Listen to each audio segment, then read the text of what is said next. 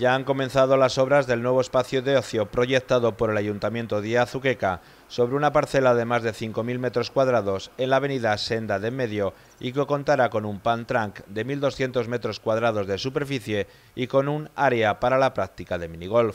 Este espacio de ocio está anexo al barrio de Asfain y se prevé un inminente desarrollo urbanístico que rejuvenecerá una zona que ahora tiene una tasa de edad elevada al ser una de las primeras habitadas en Azuqueca.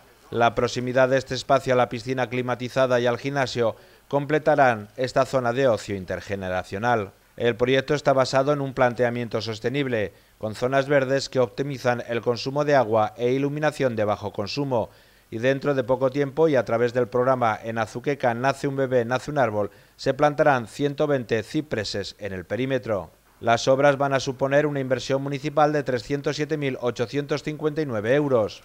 La adjudicación se hizo en dos partes. El acondicionamiento del parque lúdico lo va a realizar la empresa Seranco por un importe de 221.309 euros, IVA incluido, y la proyectada pista de Pantrank y el circuito de minigolf serán construidos por Tecnología de Firmes por un importe de 86.550 euros, IVA incluido.